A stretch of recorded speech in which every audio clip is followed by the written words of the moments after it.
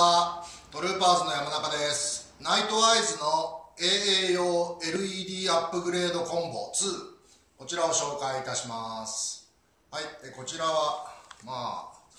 多分まあ知ってる人は知ってるか分かんないですけどミニマグライトというのがありましてですが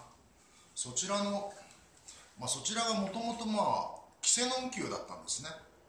それをあの時代に合わせて LED に、えー交換しましょうよと。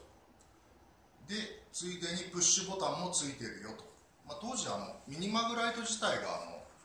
このようにあのヘッド部分を回すとあの点灯するよっていうやつだったんですけど、まあ、これをつけることによって、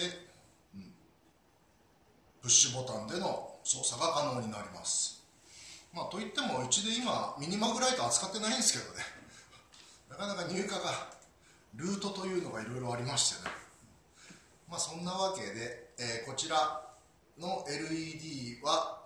LED に変換することによって30ルーメンになります。で電池寿命は約25時間よということですね。はい、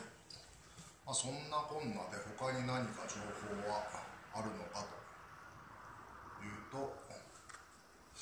特にないかな